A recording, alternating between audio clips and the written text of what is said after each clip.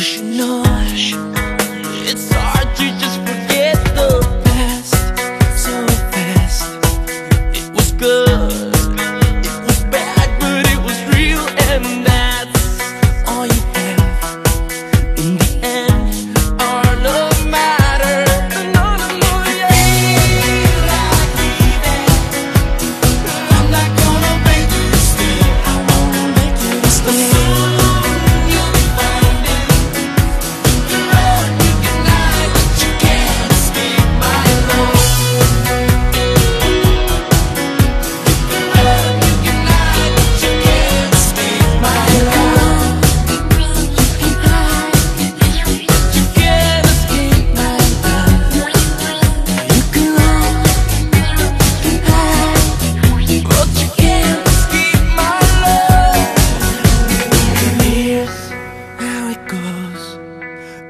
mistakes some I'm trying.